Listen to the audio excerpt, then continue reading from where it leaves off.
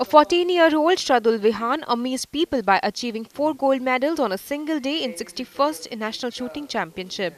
He won gold in the senior and junior men's double trap individual and team events to completely dominate the day at the Dr. Karni Singh shooting range in Meerut.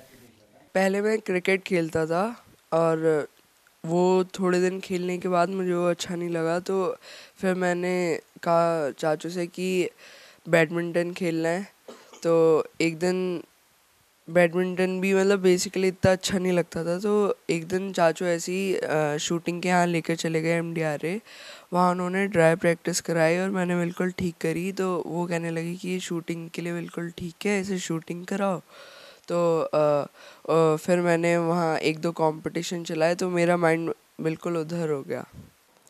बहुत अच्छा लग रहा है आ, जो senior में basically senior में आज तक किसी ने नहीं करा था कि कोई जूनियर गोल्ड मेडल लाए तो बहुत अच्छा लग रहा है। इसमें जैसे बच्चे हैं और बच्चों को क्या क्या मैसेज देना चाहोगे जो छोटे बच्चे होते हैं कि क्या क्या प्रेरणा देना चाहोगे हार्ड वर्क प्रैक्टिस करते रहो पे मिलेगा।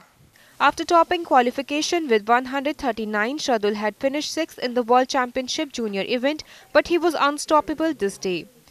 It was top driver stuff from start to finish as Shardul topped the qualification with 137 along with three others and was placed second after the short off.